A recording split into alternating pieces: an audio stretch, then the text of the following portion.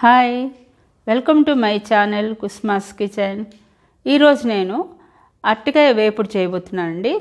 అరటికాయ అంటే తెలుసు కదా కూర అరటికాయ. చిప్స్ మాదిరి మనం ఫ్రై చేసుకుంటాం కదా పప్పుచారన్న పప్పు అన్న చేసుకున్నప్పుడు సైడ్ డిష్గా ఇది బాగుంటుంది ఈ డిష్. మరి ఇది ఏ విధంగా చేయాలో మరి దీంట్లో కావాల్సినటువంటి ఇంగ్రీడియంట్స్ ఏంటో ఇప్పుడు మీకు చూపిస్తాను. చూడండి. చూడండి కూర అరటికాయ. నేను ఒక రెండు అరటికాయలు పైన ఇలా చెక్కు తీసుకున్నానండి. ఇప్పుడు ఇది మనం చక్రాల్లాగా కోసుకోవాలి. చక్రాల్లాగా మనకి ఇష్టమైన షేప్లో కట్ చేసుకోవచ్చు అనమాట చూడండి. నేను ఈ విధంగా చిప్స్ మాదిరి కట్ చేస్తున్నాను.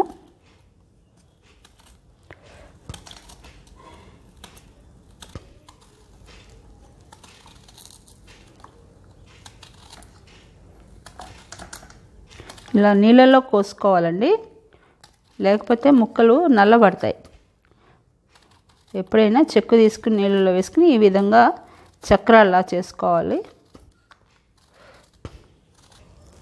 చూడండి అరటికాయలని ఈ విధంగా కట్ చేసుకున్నాను అండి. ఇప్పుడు మనం వీటిలోకి కారము తగినంత ఉప్పు తగినంత నూనె ఫ్రై చేసుకోవడానికి. ఇప్పుడు మనం స్టవ్ ఆన్ చేసుకుని బాండిల్ పెట్టుకుందాం. చూడండి స్టవ్ ఆన్ చేసుకుని నేను ఈ బాండిల్ పెట్టుకున్నాను. ఇప్పుడు నూనె వేసుకోవాలి. ఈ ఫ్రై చేయడానికి తగినంత నూనె. చూడండి నూనె కాగుతుంది. మనం ఇప్పుడు ఈ అరటికాయ ముక్కలను వేసేసుకోవాలి.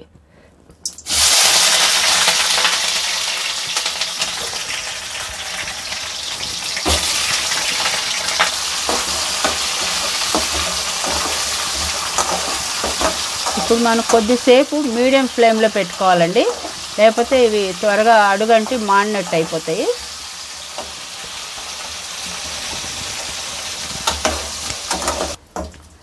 చూడండి అరటికాయ ముక్కలు ఈ విధంగా గోల్డెన్ కలర్లోకి వచ్చాయి కదా.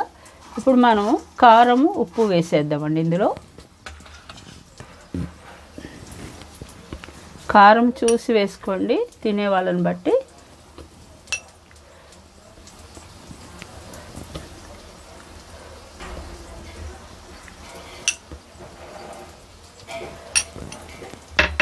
అదేవిధంగా ఉప్పు కూడా చూసి వేసుకోండి.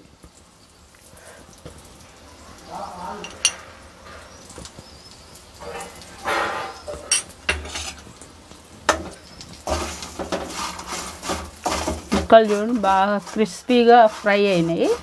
ఇలా ఉంటేనే అరటికాయ వేపుడు బాగుంటుందన్నమాట. మనం సైడ్ డిష్గా తినడానికి పప్పుచారులో కానీ పప్పు చేసుకున్నప్పుడు ఇవి ఈ విధంగా వేపుకుంటే చాలా బాగుంటాయి.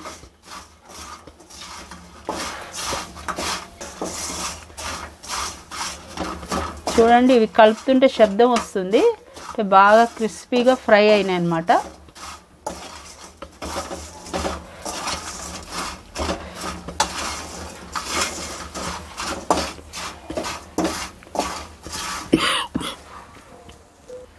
ఇంకా స్టవ్ ఆఫ్ చేస్తున్నా అండి.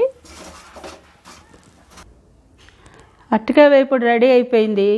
క్రిస్పీ అరటికాయ వేపుడు అనమాట ఇది చాలా బాగుంటుందండి. సైడ్ డిష్గా పప్పుచారులోను పప్పు చేసుకున్నప్పుడు చాలా బాగుంటుంది.